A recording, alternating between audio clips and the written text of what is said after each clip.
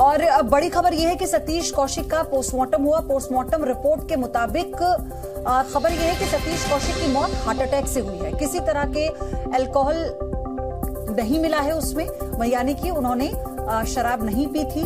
ये उनके मैनेजर भी साफ़ कर चुके हैं। पोस्टमार्टम रिपोर्ट जो आई है उसके मुताबिक वो नशे में नहीं थे, उन्हें हार्ट अटैक आया है और किसी भी तरह से उन्होंने कोई भी, किसी भी प्रकार का कोई नशा नहीं किया हुआ था। यानी किसी भी तरह के फाउल प्ले की बात पोस्टमार्टम रिपोर्ट में सामने नहीं आई है। बिस्रा प्रिजर्व कर जाँच के लिए भेज दिया गया है।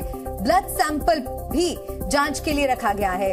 हार्ट अटैक से सतीश कौशिक की मौत हुई है। सूत्रों के हवाले से ये अपडेट मिल रहा है। इस पूरी खबर पर सतीश कौशिक की पोस्टमार्टम रिपोर्ट सामने आई है। किसी तरह की फाउल प्ले की बात उसमें सामने नहीं आई। हार्ट अटैक से ही सतीश कौशिक की मौत हुई है। ऐसा पोस्टमार्टम में सामने आया है। ब्लड सैंपल भी जाँच के लिए रखा गया है। साथ ही विस्रा भी प्रिजर्व कर लिया गया है, जिसे जाँच के लिए भेजा जाएगा। हार्ट अटैक से हुई है सतीश कौशिक की मौत और उनकी शरीर में किसी तरह के अल्कोहल के मिलने की बात पोस्टमार्टम में सामने नहीं आई है।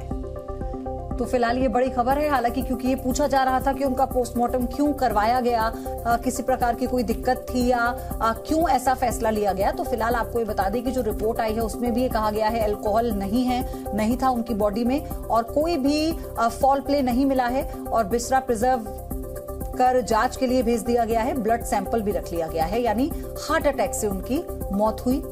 ये इसमें अपडेट है।